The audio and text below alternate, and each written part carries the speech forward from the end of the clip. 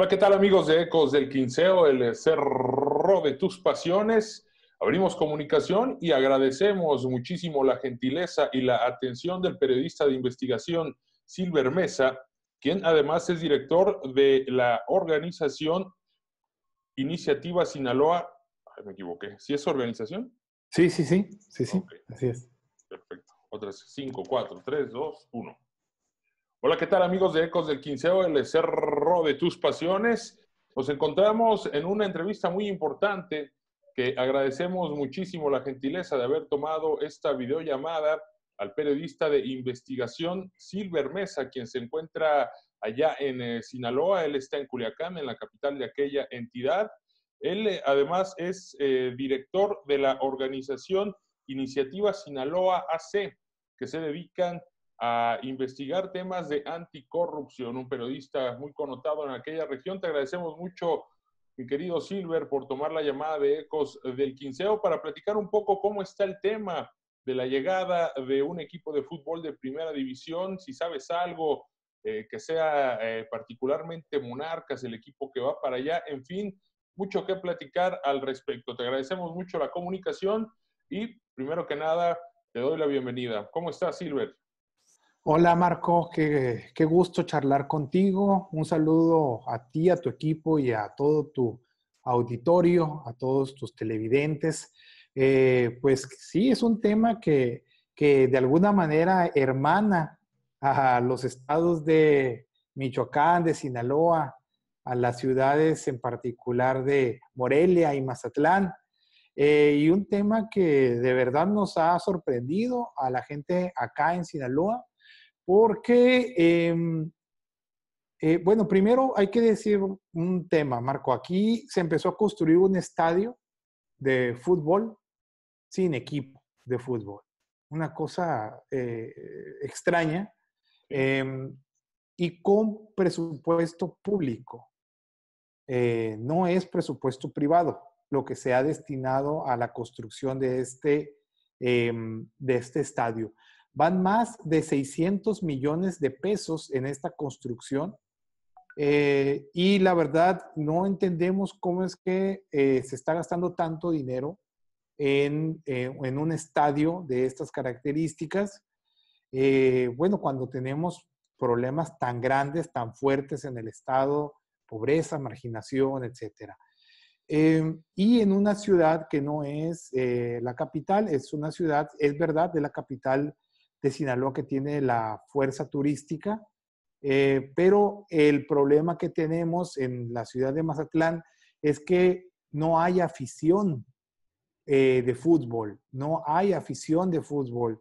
Eh, se, va a tener que ser una afición que se construya y construirla rápidamente para un equipo de primera división que sale muy caro, eh, pues se ve bastante complejo, bastante complicado. Efectivamente, no hay información oficial de parte de gobierno que nos diga que Monarcas eh, Morelia deja la plaza de Morelia para venirse a la plaza de Mazatlán, Sinaloa. Al menos no hay información acá en Sinaloa, pero ya es prácticamente un hecho, de acuerdo a la información que hemos leído en los medios, como ya compañeros periodistas de deportes han anunciado esta información. Incluso acabamos de leer una nota en el diario Record especializado en esto, donde incluso ellos hablan de que, que la inversión en el estadio no es de 600 millones, sino de 750 millones de pesos y donde va a haber una, em, una suma entre empresarios locales, la empresa actual de Monarcas y el gobierno estatal. Ese es el ambiente que se está viviendo acá, un ambiente, Marco, de mucha sorpresa de lo que está pasando. ¿En qué momento, eh, Silver, se hizo público? ¿En qué momento se dio a conocer?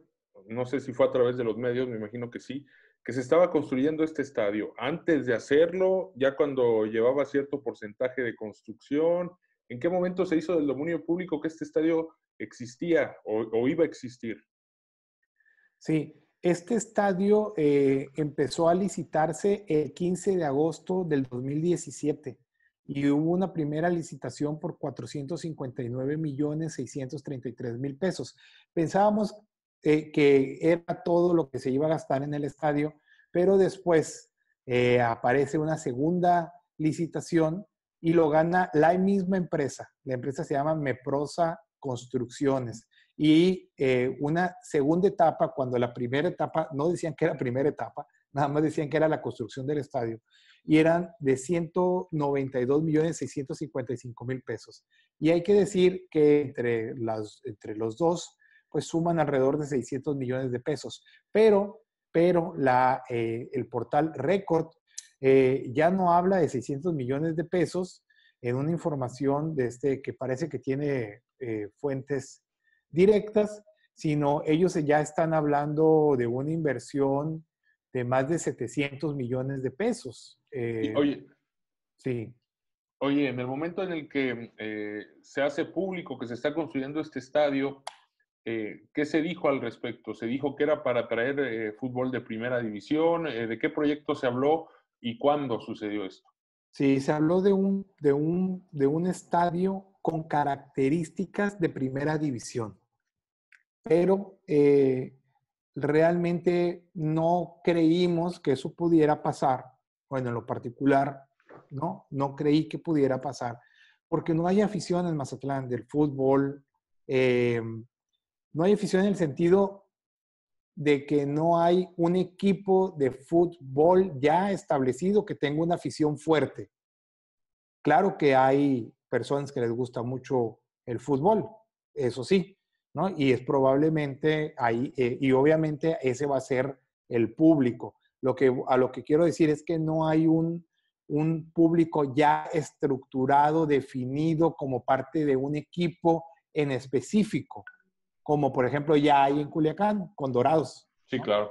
Entonces, entrar de una a primera división cuando no tienes este, un equipo estructurado, una afición establecida, pues realmente parece difícil, parece difícil de que esto se pueda, se pueda, pueda funcionar.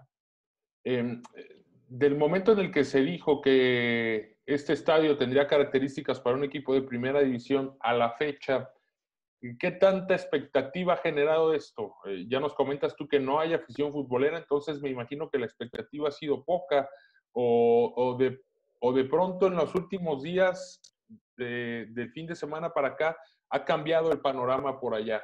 ¿Cómo está el termómetro? ¿Qué se dice en Mazatlán? Eh, ¿Qué dice el ayuntamiento? Que me imagino que no sé si sea eh, el mismo discurso que diga el gobierno estatal. Ellos ya lo dan como un hecho. Eh, ¿Cómo está el termómetro social, Silver? Hay mucho, hay muy poca información, Marco hay muy poca información. Lo que se ha dicho, lo que ha trascendido, es que la próxima semana habrá una conferencia de prensa donde se dé toda la información, que incluso está en las últimas negociaciones. Eso es lo que ha trascendido, pero no hay información todavía estable en este sentido.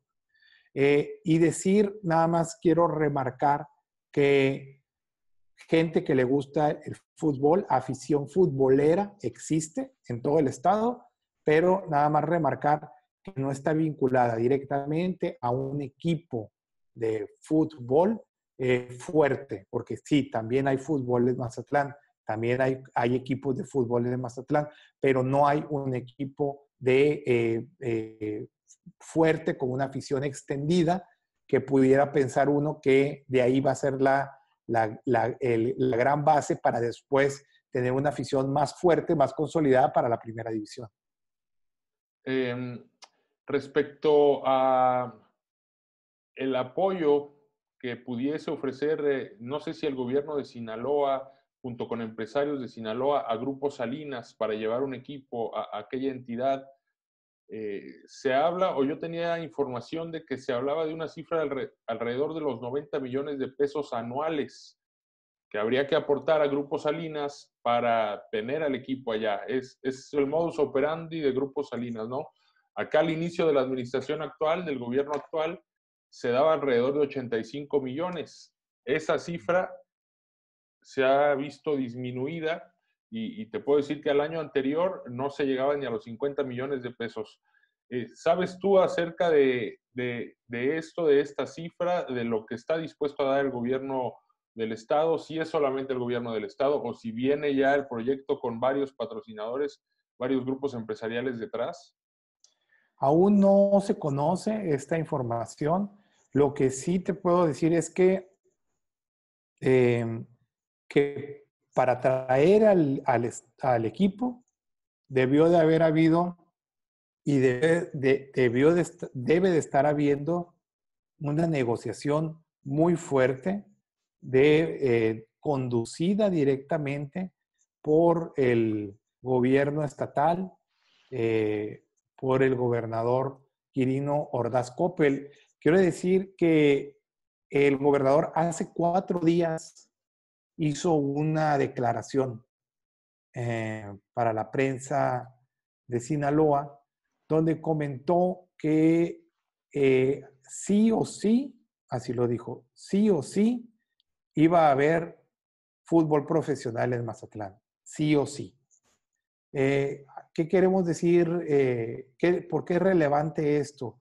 Porque asumo, Marco, que se está haciendo prácticamente cualquier cosa para poder traer un equipo de estas características al estado de Sinaloa, en particular a la ciudad y al puerto de Mazatlán. Es más, te, voy, a, te voy a decir justo lo que dijo. Eh, Dice, sí, tendría que ser este mismo año eh, cuando se trae, cuando se haga lo del equipo. Si se, si se da, tendría que ser para iniciar en la apertura 2020, es decir, en agosto, septiembre. Hay que estar en la expectativa a ver qué sigue. Nosotros seguiremos luchando y haremos todo lo que esté en nuestro alcance, pero por, por eso no va a quedar, ¿no? Por eso no va a quedar. Entonces, eh, sí le ha sido algo prioritario para este gobierno. Y pues hay que, hay que decir que, que debe ser prioritario porque ya, ya hay un estadio, Marco. Imagínate que, que, ya se le invirtió 600 o 750 millones, como dice récord, a este estadio y que no haya equipo. Imagínate el, el daño al erario incluso eso podría ser un daño al erario, el daño al erario que causaría un boquete de estas dimensiones y más en un momento como el que estamos viviendo, Marco, donde tenemos una pandemia, donde tenemos un serio problema de eh, coronavirus, eh, del nuevo coronavirus, y que se utilice mal un dinero cuando incluso ya se está hablando de pedir deuda eh, porque no alcanza para medicamentos, no alcanza para equipo médico, no casa para batas. Em, ¿Podrías concluir, eh, Silver, que el proyecto del estadio y el proyecto de llevar fútbol profesional, ya sea de primera división o de liga de ascenso a Mazatlán, nace o es iniciativa total del gobierno? O sea, ¿no hubo una, un precedente de alguna presión social o alguna exigencia social de llevar fútbol hacia ese punto? No, exactamente, Marco. Aquí eh, me queda claro que la, gente que le gusta el fútbol, a mí me gusta el fútbol, a la gente que le gusta el fútbol, siempre va a querer, desde siempre en su mente va a estar el sueño de tener un equipo de primera división. También yo lo quisiera para Culiacán. Eh, todo el mundo vamos a tener ese sueño, eso me queda claro. Pero la verdadera definición, eh, la verdadera decisión no viene, no se toma por presión social, se toma por una decisión unipersonal del, del gobernador de Sinaloa, Quirino Ordaz ¿no? Eh, es una decisión que él toma y no, no hemos tenido la transparencia suficiente para saber cuál es la razón de tomar una decisión de este tamaño. Tampoco sabemos si el público te va a dar. No, no tenemos acceso a ningún estudio que nos diga si el público que le gusta el fútbol de Mazatlán va a dar. Tampoco sabemos si va a dar el turismo suficiente para llenar un estadio tan grande y de esas dimensiones. tampoco sabemos quién puede ser el concesionario, ahora ya empezamos a saber. Eh, entonces hay muy poca información, Marco, y de verdad, ojalá que funcione el equipo. Se está haciendo una inversión muy grande, pero hay muchos visos de que eh, puede ser un equipo que tenga muchos problemas. Pues te agradezco mucho, Silver, eh, el contacto, la atención, la gentileza que has tenido y sobre todo la información eh, muy puntual de lo que está sucediendo allá en Sinaloa en torno a este tema en particular, donde prácticamente no ha habido información oficial respecto a la llegada de una franquicia hacia este nuevo estadio. El estadio ya debe estar, eh, no sé si al 100% de su construcción, pero le deben faltar detalles. No tendría problemas para estar listo para el inicio del próximo torneo. Eh, también la Federación Mexicana de Fútbol ya dijo que será flexible en cuanto a la solicitud de un cambio de sede por parte de una franquicia y como tú bien lo comentas, si ya se hizo la inversión tan grande, 600 o 750 millones de pesos, evidentemente es para ponerlo en uso, para ponerlo a explotar comercialmente, económicamente y que esto pueda ser al final de cuentas una derrama económica para la ciudad de Mazatlán y para el estado de Sinaloa. Pues estaremos al pendiente, Silver, de la información que surja y seguramente estaremos eh, tocando tu puerta próximamente en el corto plazo. Un saludo a toda la gente por allá en Sinaloa.